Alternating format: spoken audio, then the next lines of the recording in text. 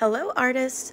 Welcome to the art room. Today we are going to create something incredible inspired by Yayoi Kusama's polka dot pumpkins. We're going to start by simply drawing a pumpkin, but wait, is that the best pumpkin we can draw? No, we're better than that. You see, being an artist is all about thinking outside the box, and today we're going to forget what our brains tell us a pumpkin looks like and we're actually going to look at a pumpkin in real life to do our drawing. Real life is where the beauty lies. It's where we discover the little details, the textures, and the colors that make our art come to life. After you draw light until you get it right in pencil, outline in Sharpie. Now, just like the incredible artist Yayoi Kusama, let's add some dots to our pumpkins. Remember, she added the dots in lines. It will take time and we have to be patient, but with each dot, you can watch your masterpiece grow. Look how many sizes of dots I did. Remember, there are no mistakes and everybody's pumpkin will look different.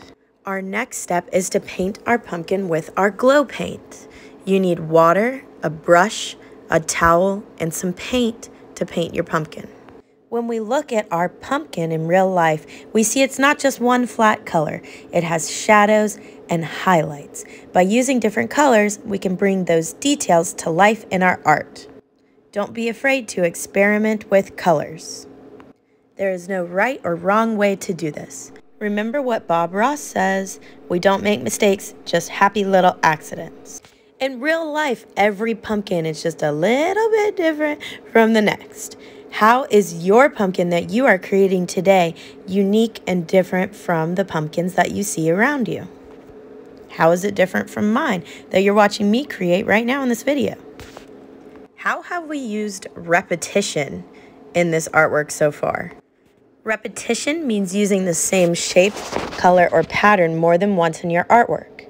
This makes your art look interesting and can even create a rhythm like a beat in music.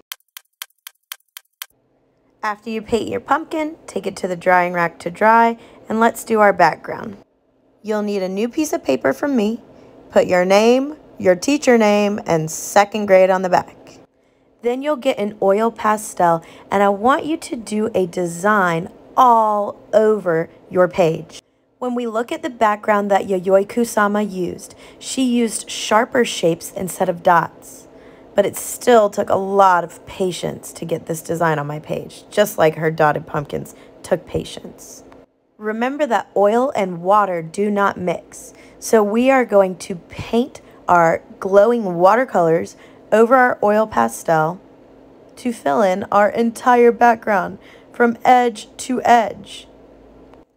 If you run out of watercolor, just go ahead and reload it.